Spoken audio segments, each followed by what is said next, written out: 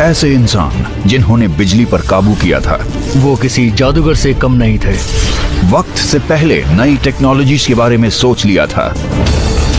उनके दिमाग में ये तस्वीरें बन जाती थी।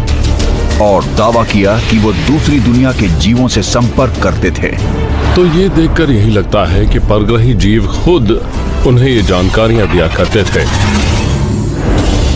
निकोला टेस्ला को आज तक के सबसे अकलमंद और रहस्यमय लोगों में से एक माना जाता है।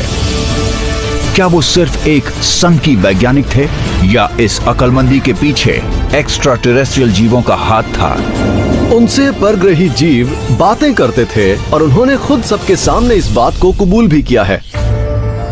दुनिया भर के लाखों लोग ये मानते हैं कि बीते कल में दूसरे ग्रह के जीव हमारे ग्रह पर आए थे। तो क्या ये बात सच है? क्या सच में प्राचीन एलियंस ने हमारे इतिहास को बदला है? अगर ऐसा है तो क्या उनका निकोला टेस्ला की अकलमंदी से कोई ताल्लुक था?